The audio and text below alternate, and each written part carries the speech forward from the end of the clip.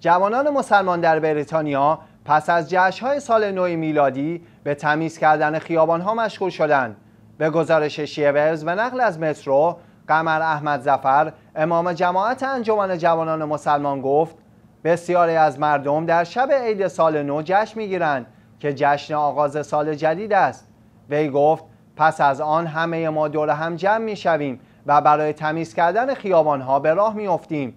این تنها تمیز نگه داشتن محیط اطراف ما نیست بلکه این کار برای یادآوری این حقیقت به جوانان است که آنها وظیفه هایی در قبال جامعهشان دارند. وی گفت بیش از هر چیز سعی داریم یک سبک زندگی درست در جوانان به وجود آوریم و به آنها یادآور شویم که نباید غذا را اصراف کنند. در این طرح حدود 1500 جوان مسلمان صدها تن زباله را از سطح شهر جمع کردند.